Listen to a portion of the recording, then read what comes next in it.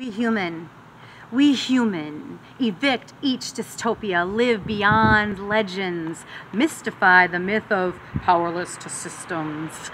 Only worshiping the temples we are breathing, leave news feeds unfed and eat new fruit. Heathen, our blood, be powerful, not safe safety, illusionary prodding stick. We jump the gates of internet fiefdom, avert avatars, reclaim life force, unbrand ourselves, pronounce name as heartbeat, pounce on paradigms and tear them with ancestor teeth.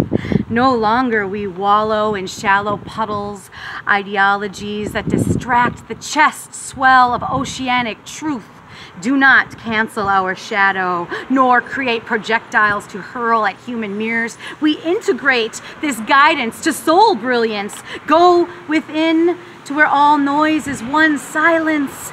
Become the embodiment of this strength, fire of heart, foot of earth, mind of wind, soul of water, core of ether, purified passions, sovereign wisdoms, righteous movement. We human the revolution of ascension.